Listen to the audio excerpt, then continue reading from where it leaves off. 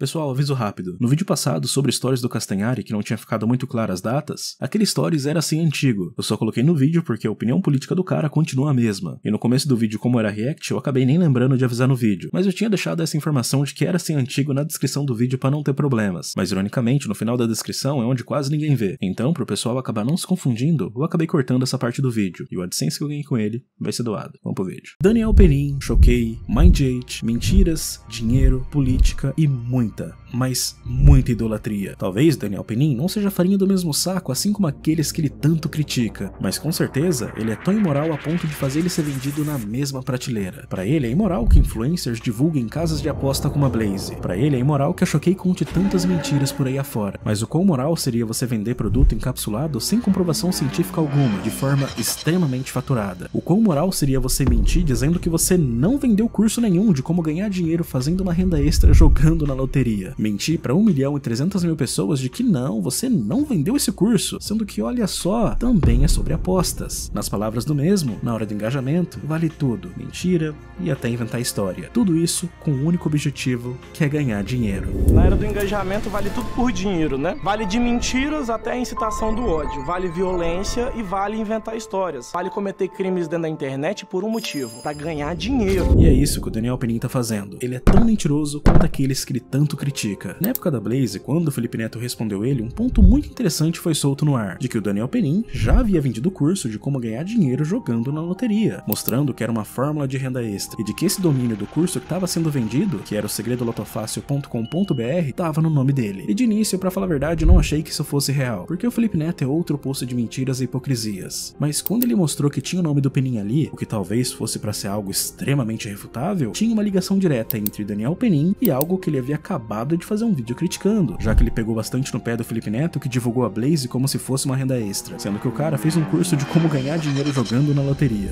De um sujeito que te ensina a vender vitaminas encapsuladas e que custam às vezes R$19,90 e eles vendem por R$199,90, prometendo que vão revolucionar sua vida, mudar a sua saúde e até curar doenças. E sabe qual é o público que eles colocam como alvo na hora de fazer a publicidade no Facebook? Idosos.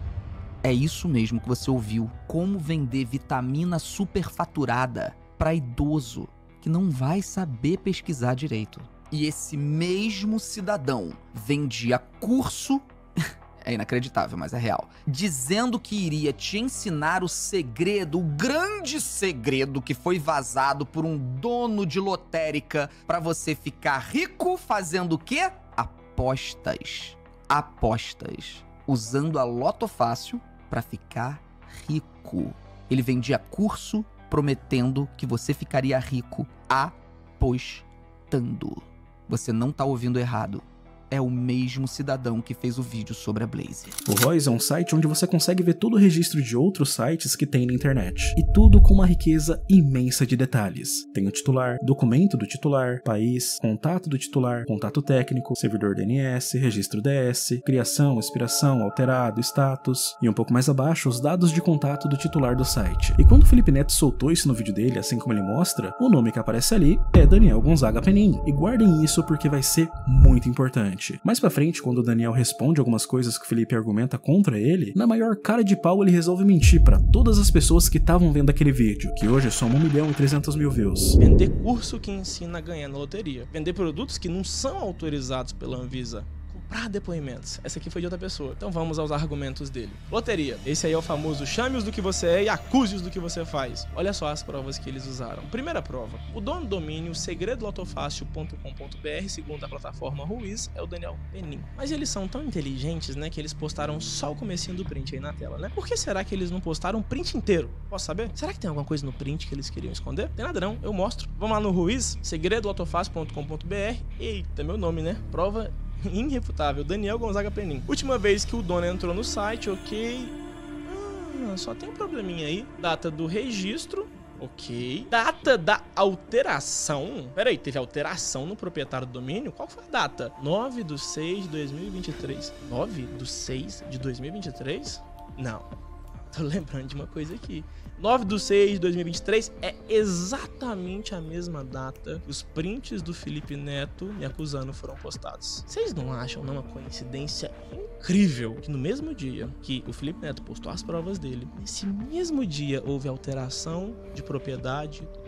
Ah, e detalhe, esse print aí está exatamente igual o site está agora depois da alteração. Então, o print que o Felipe Neto tirou foi tirado depois que o site foi alterado mais uma prova plantada. Bem, primeiro que só pelo Royce, não dá para ver todas as alterações que foram feitas pela pessoa que é dona do site segredolautofácil.com.br. Só que é muito interessante ele dizer prova plantada, o que dá a entender que estão tentando incriminar ele por algo que ele não fez, que ele não é ou não foi dono do site e de que ele não fez e não vendeu esse curso, de que esse produto não é dele. Tanto que hoje em dia o segredolautofácil.com.br tá no nome de outra pessoa, Gilson Santos Lima. E nas palavras do Daniel, o print do Felipe Neto foi tirado depois que o site foi alterado. Só que tem uma coisa muito interessante, por que será que ninguém se perguntou o que tinha antes dessa alteração? O que é uma pena, porque só pelo Royce não dá para ver. Então vamos dar uma olhada no histórico de busca de todas as alterações do domínio desse site. Aqui no Royce History Search, aqui dá para ver cada alteração que o site já teve em seu domínio, desde a criação dele até os dias atuais. E o site segredolotofácil.com.br já teve mais de 850 mudanças, ficou ao todo 1081 dias registrado e já teve três donos. E o que temos aqui são os registros, que vai desde desde 18 de janeiro de 2021 até 4 de janeiro de 2024. O que o Daniel disse foi que as provas do Felipe foram plantadas e de que o print havia sido tirado só depois da alteração. Só que ele não mostra quem que era o dono anterior. E sabe por que ele não mostra? Porque a alteração que teve não foi do dono do registro, e sim do e-mail de contato. Em 18 de janeiro de 2021, o dono do site, Daniel Gonzaga Penin. Em 21 de abril ainda de 2021, o dono do site Segredo Lotofácil, Daniel Gonzaga Penin. Em 4 de novembro de 2021, o dono, Daniel Rafael Gonzaga Penin. Em 15 de novembro de 2021, 17 de dezembro de 2021, 16 de março de 2022, 6 de janeiro de 2023, 16 de junho de 2023, 3, 4 e 6 de julho de 2023, em cada uma dessas datas, Daniel Penin era o dono do site segredolautofácil.com.br. E olha só que curioso, ele não tinha dito que a prova tinha sido plantada, de que o print foi tirado só depois da alteração do registro? Ah, e detalhe, esse print aí está exatamente igual o site está agora depois da alteração. Então, o print que o Felipe Neto tirou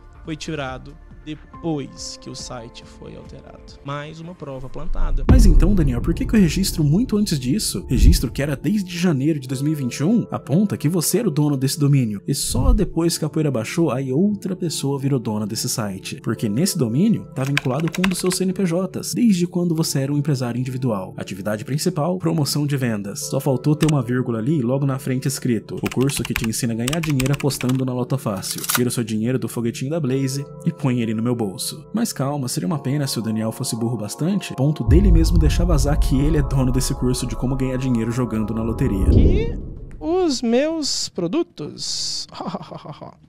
Vamos ver os meus produtos? Reveravit, vamos achar? Opa, produtos, meus produtos. Reveravit. Tem produto aqui que vocês não podiam ver, mas tá bom. já viu, já era. Reveravit.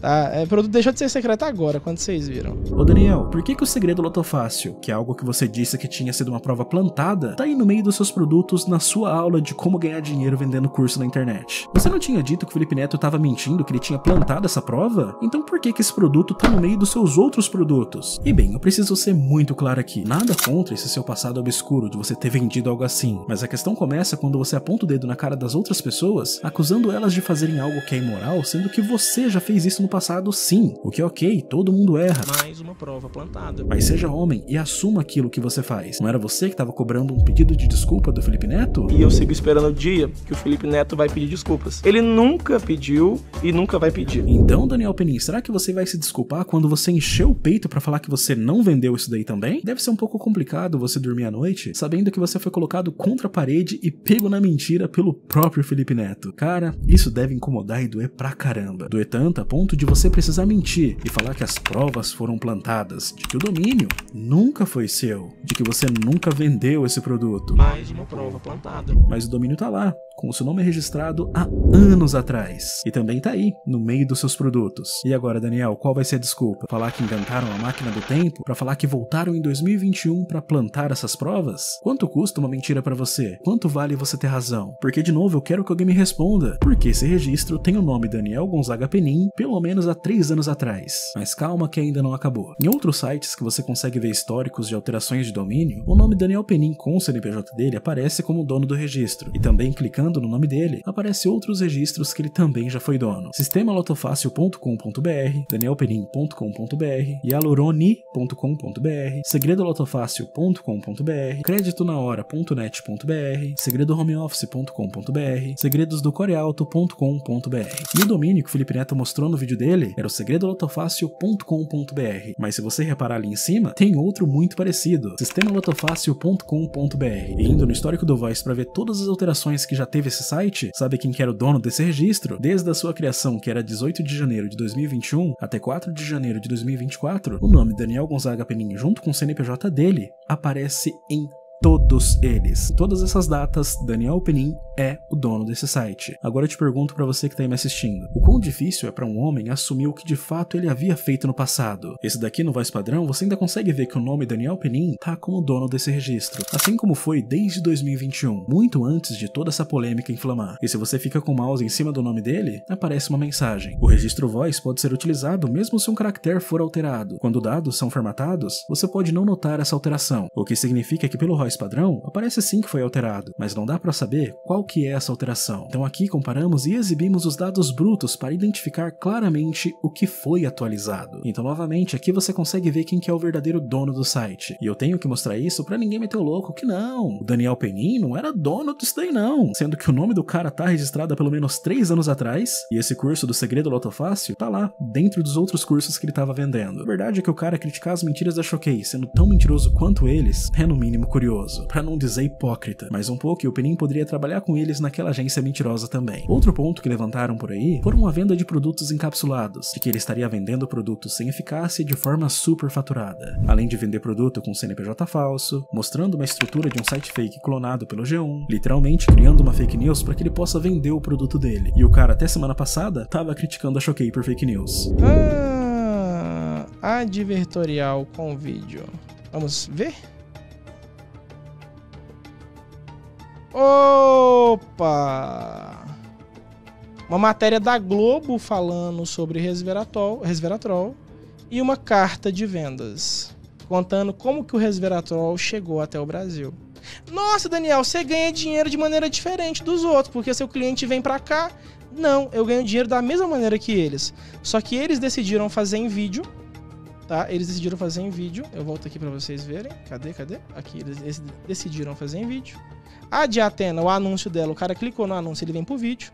E eu decidi fazer em texto. E novamente, para não meterem o louco, eu vou mostrar um pouco mais de prova. Um daqueles sites que o Daniel é dono que tem o nome dele como registro vinculado é o Hialurônico. Esse site é o único que ainda dá para ver, já que o restante já estão todos fora do ar. Rolando um pouco para baixo, tem os depoimentos. E aqui ele foi tão inteligente como o Jovem Rico e colocou todos os vídeos upados pelo Vimeo. Se você viu meu vídeo sobre o Jovem Rico, que é outro cara que vende um monte de produto mentiroso, com certeza você vai se lembrar que esse player é o mais leve na hora de você construir um site. Só que esse player que você upa os vídeos tem um defeito enorme, porque clicando no vídeo ou no ícone dele, você consegue ir para a conta do usuário do Vimeo, aonde tem todos os vídeos que já foram upados por ele. E clicando ali, rolando um pouco mais para baixo, mais um vídeo do Daniel Penin. Dia 19 de dezembro, eu vou dar uma aula ao vivo e te ensinar de graça tudo o que você precisa fazer para sair do zero e criar um negócio milionário com marcas de produtos físicos que são vendidas pela internet. Dia 19 de dezembro eu vou fazer o evento Marca Milionária. Só que essa aula Marca Milionária, como é uma aula muito importante que eu vou dar ao vivo, apenas pessoas convidadas podem participar. Não é pago, tá? É de graça. Só que o evento é privado. E para você participar, para você assistir essa aula, você vai ter que clicar no link da descrição, entrar no grupo de WhatsApp e esperar eu mandar para você o seu convite, tá? Além de ter outros vídeos de venda daquele produto sem queda que ele também já foi dono. Descoberta inédita. Por que você só perde cabelo da cabeça, mas nunca do resto do corpo? Chocante. Ei, meu nome é Marcos Pereira, mas pode me chamar de Marcão. E na apresentação a seguir, eu vou mostrar como fui disso para isso. Você pode usar exatamente o mesmo método 100% natural de prevenção da queda de cabelo que eu usei. para ter um cabelo mais espesso, cheio e saudável que todos invejam. Vou até dar a você cada etapa desse método dentro dessa apresentação.